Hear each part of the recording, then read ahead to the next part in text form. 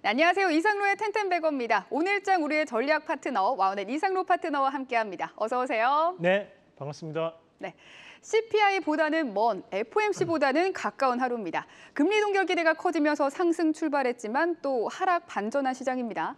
네, 어, 바이든 대통령의 입김도 좀 있었습니다. 음, 더 좋은 미국을 만들어낼 것이다. 이제부터 기대하셔도 좋다라는 얘기를 했지만 그것은 이제 립 서비스에 불과했다는 것이 오늘 시장에 드러나는 부분이 아닌가 그렇게 볼 수 있고 마찬가지로 미국 CPI가 긍정적인 발표를 했습니다. 예상치보다 낮은 수치 4.0%라는 그럼 앞으로 이제 3%대가 가능할 것이라는 기대감을 충분히 올려줄 수 있는 상황인데 자 문제는 이미 FOMC 회의에 대한 기대감이 증시에는 선반영됐던 부분이 상당히 이미 강하기 때문에 어, 지금 글로벌 증시를 보더라도 니케이 지수를 제외하고는 대부분 다 보합권이라든지 음, 또는 강보합. 양상을 좀 나타내는 그런 부분이 아니었나라고 좀 볼 수 있고 어, 오늘 밤 이제 금리가 결정이 될 것입니다. 어, 저도 이제 금리 동결에 대한 부분을 누누이 말씀드려 왔는데 어, 그 부분이 이루어지고 난 다음에 또 다시 한 번 더 시장은 또 7월 달에 대한 어, 기대감 그러니까 추가적인 금리 동결 그리고 이제 내년에 다시 한 번 더 금리 인하에 대한 가능성을 얘기하지 않을까라고 생각하면서 이미 이번 FOMC 회의에 대한 선반영은 좀 되었던 부분이 아닌가 그래서 일부 차익 매물이 나오는 그런 단계다 고 그렇게 한번 정리를 해보겠습니다. 네, 오늘 장 체크 포인트 바로 살펴보시죠. 네, 그래서 이렇게 한번 잡아봤습니다. FOMC 선반영이라는 부분으로 잡아봤고 어, 오른 종목군들이 이제 빠지기 마련입니다. 하지만 이제 이렇게 하락을 했을 때 우리가 건전한 조정이라고 받아들여야 된다는 말씀을 먼저 드리고 싶고 아 이제 꼭지 쳤기 때문에 대부분 종목군 하락할 거 그런 불안감을 가지실 필요는 없다는 말씀을 좀 드리면서 좀 더 기대감을 가지고 빠졌을 때는 좀 더 저렴한 가격대에서 우리가 쉽게 접근할 수 있는 그런 가격적인 메리트가 다시 한번 존재할 수 있다는 부분을 말씀을 드리고 싶습니다. 어, 그래서 첫 번째에 대한 부분으로 우리가 한번 같이 보시면 오늘 리튬의 상당 부분 이슈입니다. 자, 희한하게 참 증시는 전문가들에 대한 예상을 벗어나고 있습니다. 어, 대부분의 전문가분들이 또 에코프로에 대한 얘기를 많이 하셨습니다. 그러면서 에코프로를 사야 된다. 포스코는 별 볼 일 없다고 했지만 유일하게 저희는 포스코가 그래도 낫다고 얘기했죠. 그렇죠. 어, 포스코 다시 한 번 더. 맞습니다. 올라가면서 리튬에 대한 얘기가 이슈가 되고 있고 수산화 리튬 착공식이 개최가 되면서 리튬 관련주들이 현재 강세를 나타낸 모습들. 그리고 최근까지 잠잠했던 포스코 홀딩스도 오늘 다시 한 번더 어, 장중 4%에 대한 상승세를 나타나기도 했습니다. 마찬가지로 리튬 관련된 기업들이 대부분 도 오늘 강한 모습들이 나타내고 있는데 뭐 금양이라든지 강원에너지, 미래나노텍 이런 기업들이 오늘 다시 한 번 더 강세를 나타내면서 움직이고 있고 어, 다시 한 번 더 강조를 드리지만 실질적으로 리튬 염호 호수를 보유하고 있는 아, supply chain을 확보하고 있는 회사는 포스코홀딩스가 국내에서는 유일합니다. 그런 부분 자체를 감안해서 본다면 단기적인 부분보다는 길게 볼수록 우리가 충분히 재평가 나타날 수 있는 분야가 또 포스코 그룹이 아닐까라는 말씀을 함께 드리고 싶습니다. 음, 네. 또 탄산 리튬 가격이 한 달 사이 한 두 배 가까이 올랐거든요. 오늘 상승의 그 이유도 있을 것 같은데 리튬 가격이 이렇게 오르다 보니까 배터리 재활용 관련주들 뭐 코스모화학이라든지 성일 하이텍에 지금 주목해야 할 때가 아닌가 이런 생각도 좀 듭니다. 음, 사실 이제 우리가 자원 고갈에 대한 부분 그리고 국내 같은 경우에는 자원 빈곤국이라는 이미지를 벗어나기가 대단히 힘든 것이 사실입니다. 그렇다 보니 어, 그런 관점에서 이제 폐배터리라든지 리사이클링 분야에 대한 부분도 계속적인 발전을 이루어낼 거라고 보는데 다만 이제 우리가 회수율이라고 하죠. 이런 회수율 자체가 높지 않다 보니까 주가에는 제한적 영향을 주는 것이 아닌가를 말씀드리고 싶고 앞서 말씀드렸던 포스코홀딩스가 이런 리사이클링에 대한 분야에 대한 지분도 100% 확보하고 있습니다. 그래서 어설픈 폐배터리 관련주를 살 바에는 포스코홀딩스에 대해서 좀 더 관심을 가지는 것도 하나의 대안이 될 수 있다는 말씀도 함께 드리겠습니다. 네, 좋습니다. 오늘의 두 번째 체크 포인트는 바로 엔터주입니다. 오늘 하이브와 JYP 엔터가 모두 52주 신고가를 또 경신하기도 했죠. 끝없이 오르는 엔터 주입니다. 네, 뭐 엔터주 같은 경우는 2분기 우리가 실적적인 측면을 보더라도 콘서트에 대한 매출이 포함되는 그런 과정들이기 때문에 충분한 재평가를 받을 수 있는 실적적인 earning surprise가 이어질 수 있는 부분이라고 보는데 어, 지금 현재는 대형사들이 최종적으로 많이 움직임이 나타났었다면 최근 들어서 중소형 업체들에 대한 재평가가 나타나고 있다는 것을 우리가 좀 더 기억할 필요가 있을 것 같습니다. 그럼 바닥 권역에서 움직이고 있는 종목군들이 RBW라든지 또는 이제 FNC 엔터 같은 기업들도 바닥 권역에서 지금 현재 추세 적으로 바뀌고 있는 자리들이기 때문에 우리 좀더 눈여겨볼 필요가 있고 지금 현재 큰 조정폭을 보였던 YG 엔터테인먼트 자 YG 엔터테인먼트가 목표가를 돌파를 하고 난 다음에 제가 그래도 10만 원까지는 안 가겠습니까 라고 말씀을 드렸었는데 10만 원에 대한 문턱을 넘지 못하고 현재 8만 원 선까지 조정이 나와 있는 모습입니다.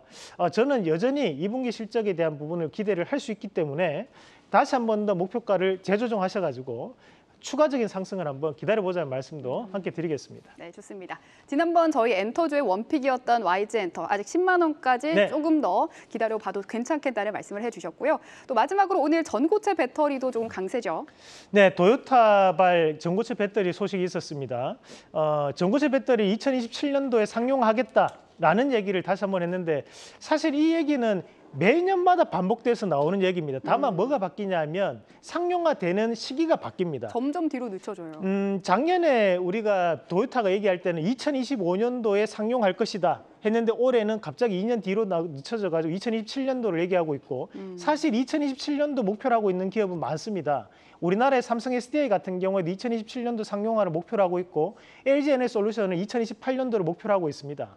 자, 삼성 이재용 회장 같은 경우에는 올해 초에 전고체 배터리 공장이 어, 바로 그 수소, 수원에 있는데 거기 전고체 배터리 관련 연구하고 있는 단지를 어, 벌써 연초에 두 번이나 방문을 하셨습니다.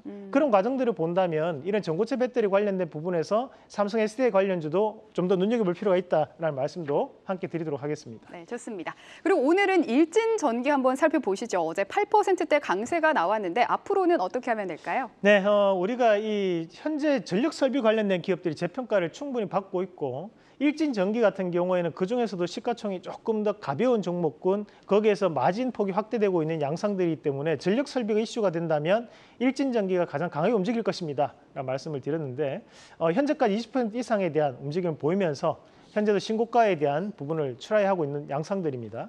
어, 우리가 이런 종목군들은 대시세가 나는 과정들이기 때문에 일봉이나 주봉에 대한 움직임보다는 월봉상에서 추세적 변화를 좀더 눈여겨 보시는 것이 시세에 대해서 좀더 어, 긴 시세를 수익률을 극대화할 수 있는 방안이 될 수 있다는 말씀도 드리겠고 2분기 실적을 기대하셔도 좋습니다.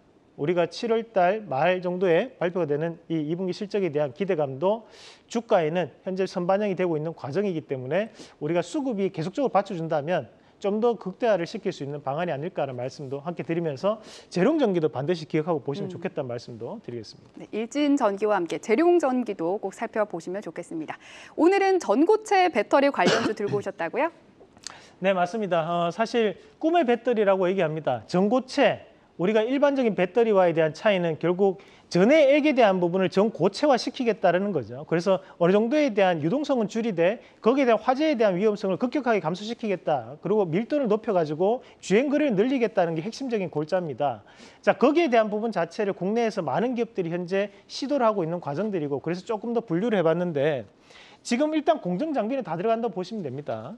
자, 그래서 이렇게 공정 장비 관련된 기업들은 눈여겨 보실 필요가 있고 특히 이제 우리가 전국 공정이라는 TSI나 또는 CIS, PNT는 강, 상당히 중요한 기업들입니다. 자, 그리고 2차 전지 셀 업체들은 당연히 상용화를 2027년, 2028년, 2029년도에 맞추고 있기 때문에 우리가 함께 볼 필요가 있겠죠. 다음 그림도 한번 같이 보겠습니다. 어, 이제 기술적인 부분인데 최근 들어서 이제 이수화 황화물계 배터리에 대한 시생산에 들어갔던 것이 작년이었습니다. 그 이후로 계속적인 이슈가 되고 있기 때문에 우리 눈여겨볼 필요가 있고 자 LTC라는 기업이 조금 복병이 될 수 있습니다. 자 어, 요 기업도 눈여겨 보면 좋을 것 같고 어, 당연히 뭐 전고체 배터리를 한다고 해서 양극재가 안 들어가는 건 아니겠죠. 그래서 양극재 기업들도 어, 함께 눈여겨 보시면 되겠습니다. 네, 좋습니다. 오늘의 원픽 소개해 주시죠.